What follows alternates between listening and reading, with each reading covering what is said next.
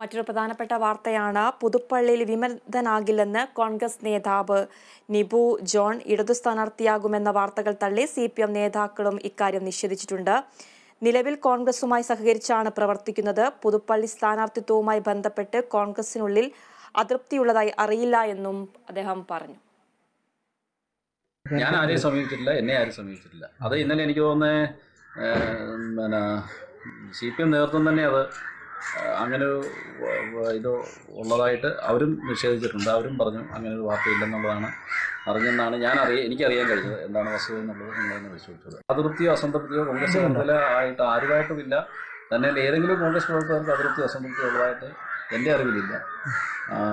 നിലവിലത്തെ സാഹചര്യത്തിൽ മുഴുവൻ സമയം കോൺഗ്രസ് പ്രവർത്തകനായിട്ട് തന്നെ തുടരും